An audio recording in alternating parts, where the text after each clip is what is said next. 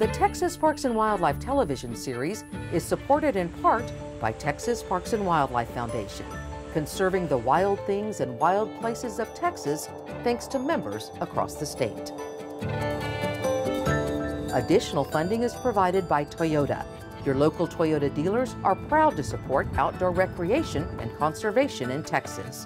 Toyota, let's go places.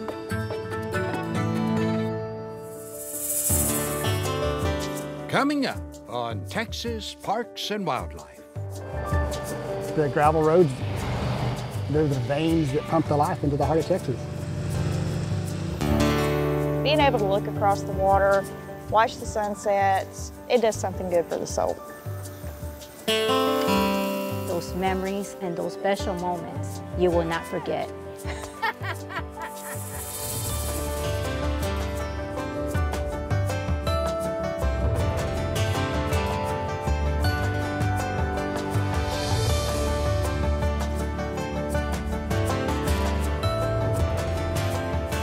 Texas Parks and Wildlife, a television series for all outdoors.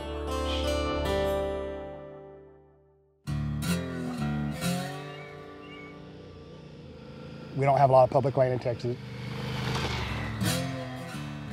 We got terrific state parks, national park, but really the gravel roads, that's our public space.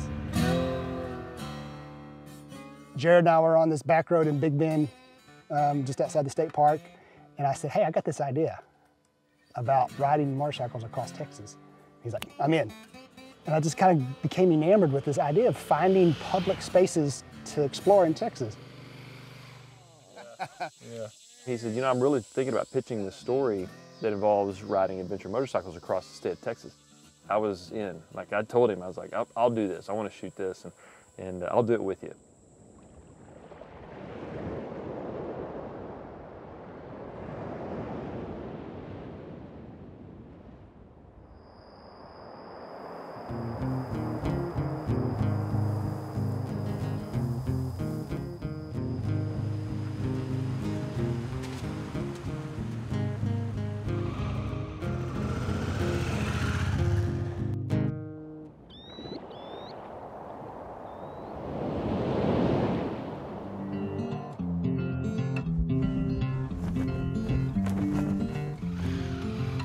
They've got to go from the coast to the highest point in Texas and connect as many gravel roads in between as possible. This idea of the back roads being our public land, it's where you see what Texas was and kind of the Texas history. It's where people lived and live.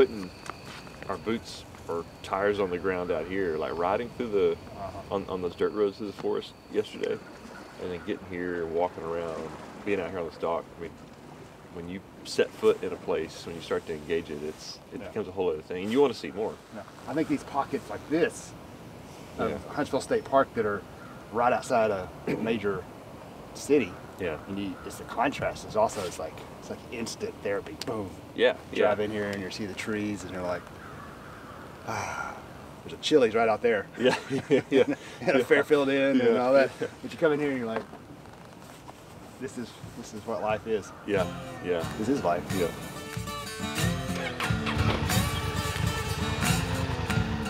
You got to get off the motorcycle and experience some stuff.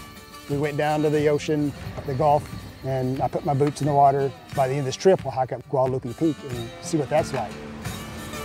Can't break this. No.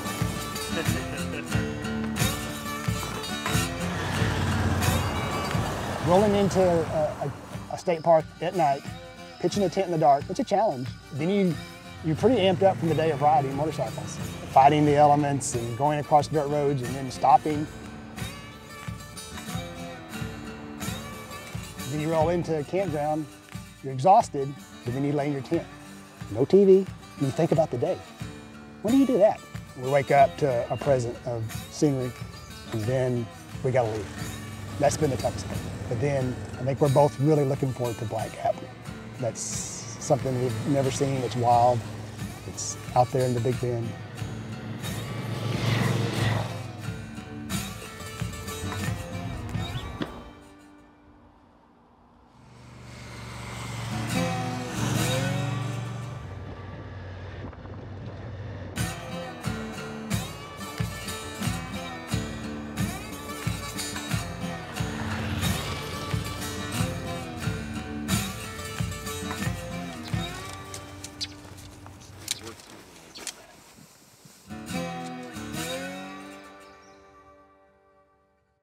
You're a participant in the elements Yeah. versus just a spectator looking through. Yeah. There's It's- nothing separating you from nature. Yeah, yeah, and so much of what you do is is dependent on the environmental conditions that you don't you, you should think about as a vehicle driver, but you don't have to take into as deep consideration. On a motorcycle, it's like coast, and then coastal plains, and then boom, piney woods. Yeah, It's just like right. It's like changing channels real quick on the TV. You're Right. kind of sampling everything. right. And then when we got west of 35, and just the further we got, the more wild the country gets.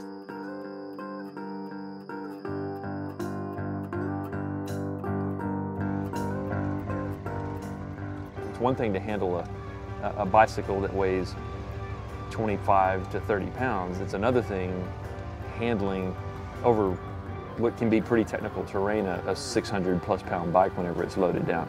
Uh, that's motorized, you know, 100 horsepower bike that's Yeah. got, uh, you know, if you're not nuanced with it enough, can, can really get out of control pretty quick.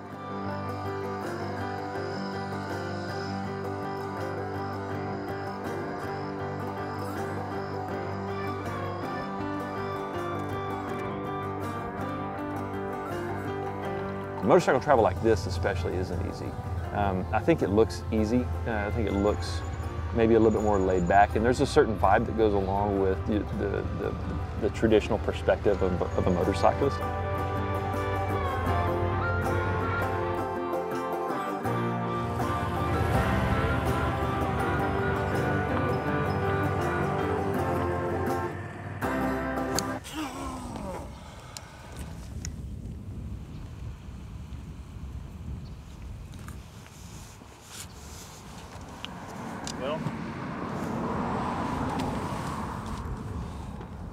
Tubes.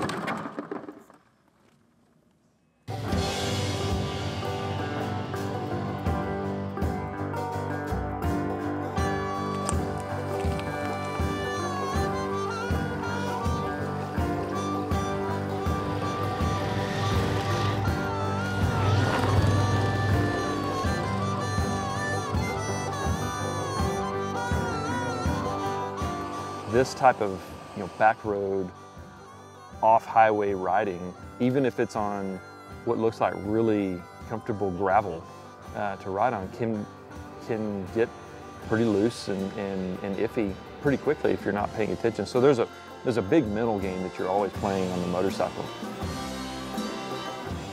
You're not supposed to squat spurs. Pants up or down.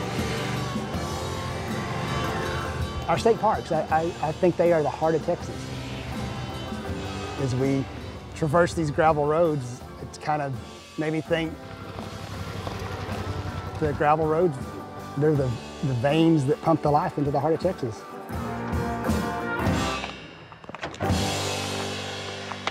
We've got to summit Guadalupe Peak. I needed to do this. Needed Yeah. to climb high above the clouds and see what's next. Yeah. But the more I see the state parks, Yeah. the more I want to go to more. Yep. Which has always been my nature with, Yeah. with them. Yeah. And there's nothing quite like the state parks we've stayed in and the diversity. And Yeah. Look at that. Oh man. we got to do another motorcycle trip and connect more state parks. Parks we haven't been to with seafood. Seafood. Okay. All right. Yeah. All right. It's in the books. All right. Celebrating a century of Texas state parks.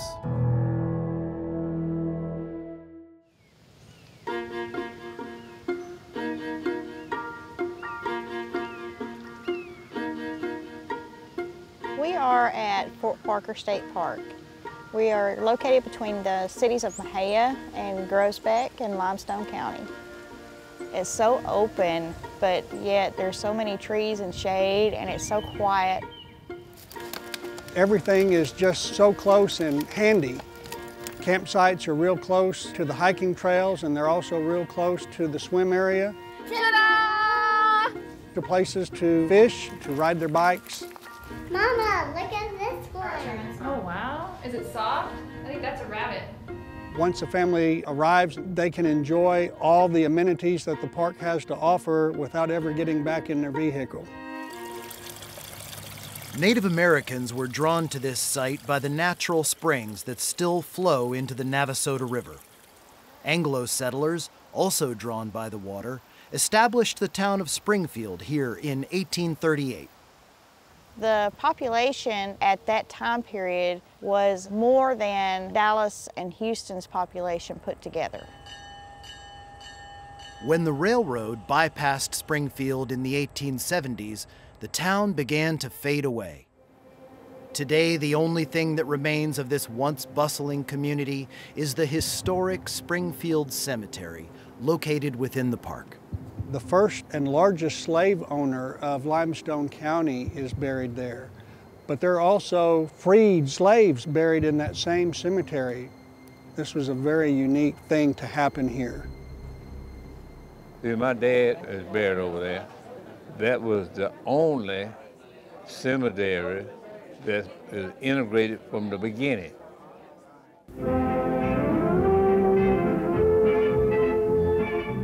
During the Great Depression of the 1930s, the Civilian Conservation Corps was established to provide jobs for unemployed young men. The people of the surrounding communities actually petitioned the government to get a CCC camp out here to make a recreational park. The number of the CCC camp was 3807C, and the C stood for colored. Life in the camp was, you know, I would say it was beautiful. When you was out there working on that farm, you didn't know where your uh, next meal was coming from. But when you were in CC camp, you knew where you're gonna get your three hearts a day.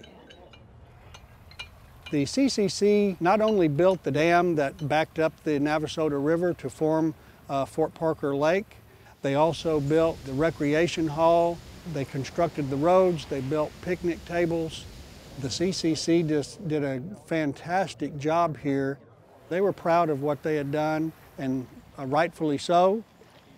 Well, I found a mushroom. Does that count? Where? The Burr Oak Nature Oh, yeah. Trail is just an ideal length trail for families with young children. Turk's cap. It's also marked with plant identification markers. The bright red flowers attracted butterflies and hummingbirds. It's a fairly hot day, but the trail is completely shaded, so it's easy to do. That's got to be the big bur oak. The kids enjoyed it, and we're going to go swimming now because the swimming hole's right next to the trailhead.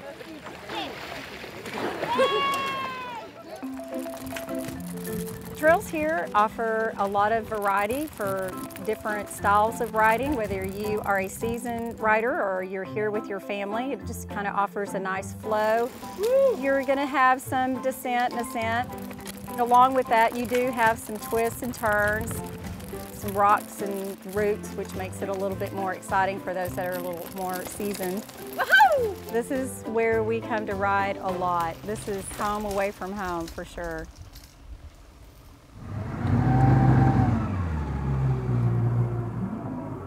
We're on the Navasota River at Fort Parker State Park. In this river, the crappie is probably the most sought after game fish. I go for these bass. There's some good sized fish in here. He's about wore out. The biggest one I've caught out of here is nine pounds and 13 ounces. That's a keeper. But the biggest one that's been caught is 12 pounds and two ounces. Here's another one. It's good enough to where I keep coming back three times a week. That's a typical Fort Parker black bass. Didn't get skunked. Canoeing and kayaking is very popular because not only can they canoe and kayak the lake, they also have the Navasota River that they can kayak. And that hosts a whole other world of wildlife that they get to see when they're going up and down the river. Like that little slide there. You can come out here and just have a really fun time, relaxing and spending time with your family, making memories that will last a lifetime in a very relaxed atmosphere. The one thing that I love about Fort Parker State Park is the serenity. Being able to look across the water, watch the sunsets, watch the birds fly across, it does something good for the soul.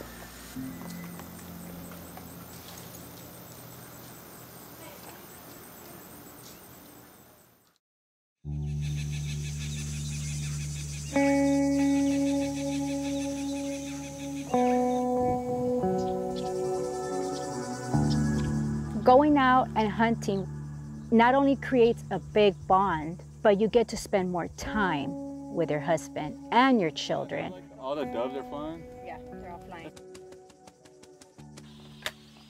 Can you still hear me? Huh? Can you still hear me?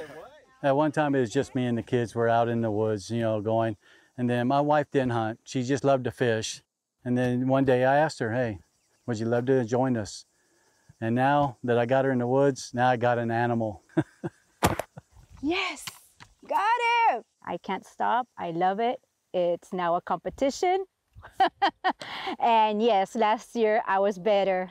And ain't nothing better than having a family out here. You know, it's priceless. We're here today with my husband, two of my children, which is Scotty and Shane, and my grandson, Noah. It's not only about being with a family, just sitting out there enjoying the wildlife, the adventure, the nature. It's so beautiful. I just love it.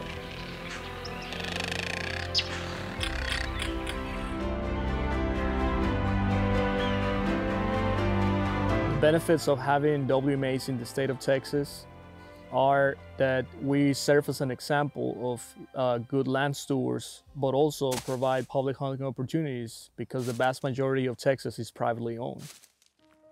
Once you pay the annual public hunting permit, you get access to nearly 1 million acres of public hunting opportunities. Wildlife management areas also serves as shelter for a lot of native species of Texas, some of those that are endangered. WMAs help keep Texas wild.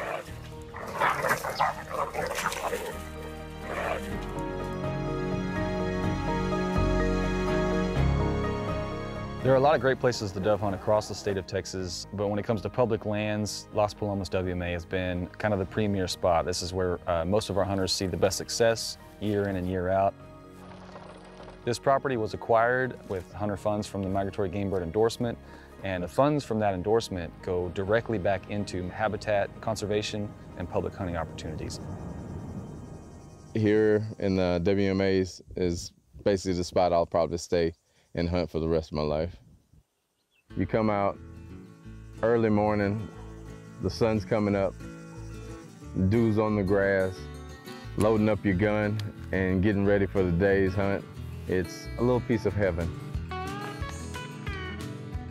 There's some getting up right there. Just get your $48 license, you hunt, and go home. It's carefree. A little high. The hunting is great. I, uh, I wouldn't give it up for anything. it looked like they're coming from the uh, south side and coming across the field. We should be able to get us some action here in a little bit. Here comes a dove right here. Here we go.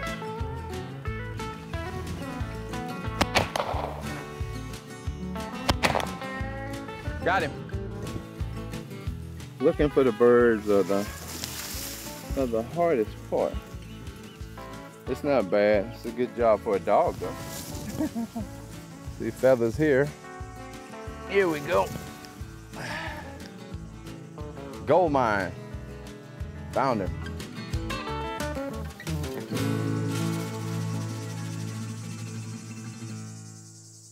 Get back to work.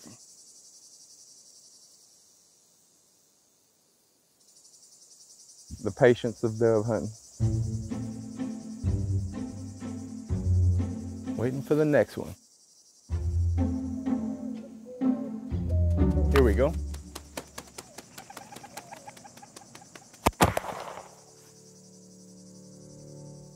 Five shots, four birds. That's pretty good. As I'm leaving the field, I'm thinking about the next time I will put my feet on Las Palomas. It's been a good year, and I'll see everybody next year in the same place. Here comes one right over top. Oh, I missed. You can be my bird watcher. So we're gonna go down here and we're gonna look for some birds and you're gonna find them for me. You ready? Let's go. Come on. Here comes one right here. Ah, you see that, Shane? Yes. Got it! You're able to take one down finally. The white wing or a mourning dove? Mourning dove. No, it's a white one, look. You don't usually get uh, a family that do it all. So it's really something special, honestly, to have uh, mom and pops and, and the little ones out here, honestly, teaching them the ropes. I caught a bird. First bird. That's so awesome. What kind of bird is that? It's a white wing. You're a good little bird dog. There you go. Look at him following Shane. Come on, Noah. I'm gonna look for more birds. I like that he has a big smile on his face and he's got something to go home and tell mama. She's gonna be proud of him. That makes us happy as grandparents. Gotta look around, up in the trees, in the sunflower field. Seeing our children at a very young age, bonding, family time, the memories, all those pictures I took, all those wonderful moments.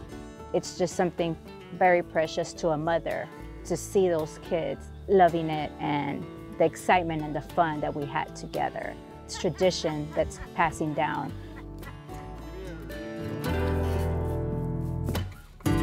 Now the family's here at my house, and this is the most wonderful part of it all. After we go hunting, we have a great dinner. Thank you for letting us harvest this food that we're about to eat. What makes me happy is having the family together. those traditions just keep on going. Those memories and those special moments you will not forget. And it's just priceless.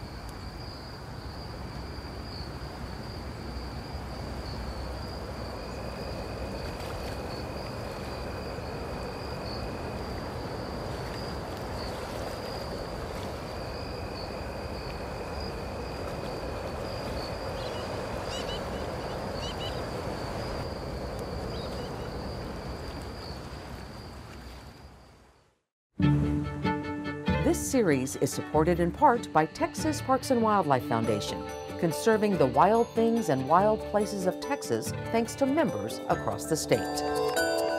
Additional funding is provided by Toyota.